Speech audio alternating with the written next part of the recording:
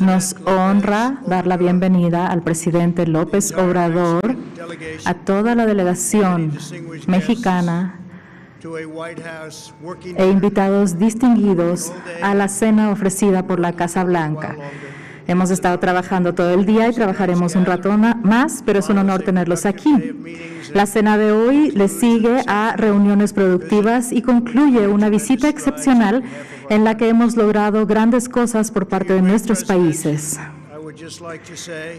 A este gran presidente me gustaría decir que ha sido un placer tenerlo con nosotros el día de hoy y ha sido un privilegio tenerlo como amigo. Eh, tenemos hemos tenido una relación muy buena desde el principio, a pesar de las adversidades y de las apuestas en contra, pero creo que ya han aprendido a no apostar en contra de nosotros.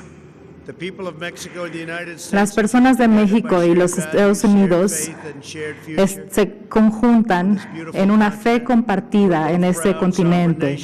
Somos naciones soberanas, orgullosas, unidas por la devoción y el sacrificio de pueblos trabajadores que aman a su país y dan todo lo que tienen para crear una mejor vida para ellos y para sus hijos. En los Estados Unidos, las contribuciones extraordinarias de mexicanos americanos se sienten en todas las industrias, las comunidades y en todos los lugares de nuestra nación, del comercio a la ciencia y en todos lados. El pueblo mexicano es valioso. Han implementado y propulsado empresas e industrias forman parte de los departamentos de policía y de nuestros militares. Aquí reflexionamos sobre lo que han logrado nuestros pueblos en conjunto a través de varias generaciones y aprovechamos las oportunidades que se nos presenten en el futuro. Estamos en una región que toca ambos océanos y estamos bendecidos con las personas más bendecidas y talentosas del mundo. Todo tiene que ver con los pueblos.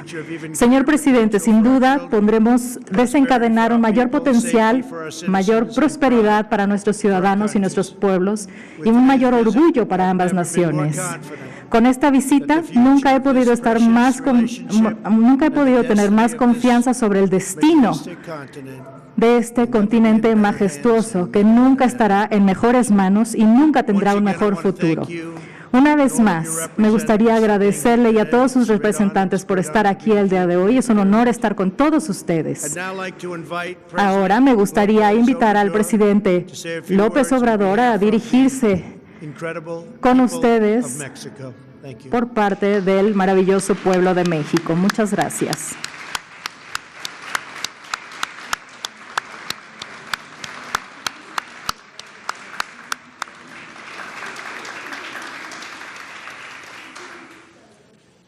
Amigas, amigos, podría eh, ser breve. Gracias. Se dice que bueno y breve, doblemente bueno. Podría solo decir que suscribo lo dicho, lo expuesto por el presidente Donald Trump somos países, somos pueblos, vecinos, hermanos, que queremos mantener buenas relaciones en lo económico, en lo comercial, en lo social, en lo cultural. Y ese es el propósito de esta visita que como lo dimos a conocer al mediodía,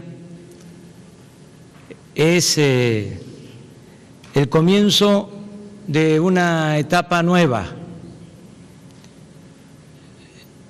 Hemos eh, firmado un nuevo tratado de libre comercio entre Canadá, Estados Unidos y México. Y con este nuevo tratado se va a fortalecer la economía de nuestra región, de América del Norte. Ese es un propósito fundamental y es, desde luego, una muy buena noticia para los habitantes de los tres países. Este tratado tiene dos elementos nuevos que ayudan a integrar más la región y a potenciarla. Primero, eh, se establece que las mercancías que se produzcan en nuestra región, en América del Norte, eh, deben de tener un elevado contenido regional. Es decir, eh, aunque se trate de autopartes, aunque se trate de cualquier eh, artículo de consumo, tiene que llevar algo que se produzca en Canadá, en México, en Estados Unidos.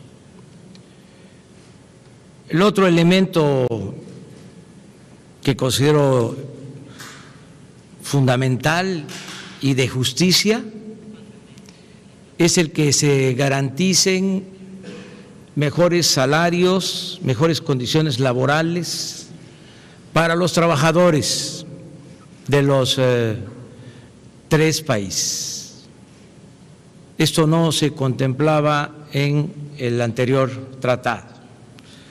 Por eso nos da mucho gusto eh, estar aquí en la Casa Blanca en este acto, en esta ceremonia. Y eh, vengo también eh, a esta cena a la que me ha invitado mi amigo el presidente Donald Trump, acompañado de empresarios mexicanos, de empresarios destacados, no solo porque invierten, producen, generan empleos, sino también porque tienen una dimensión social. Están pensando no solo en la acumulación de ingresos, sino también en que nos vaya bien a todos que le vaya bien a nuestro pueblo.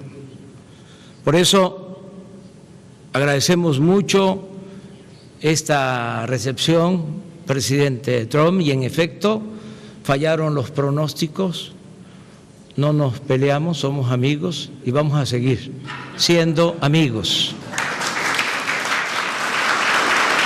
Y muchas gracias.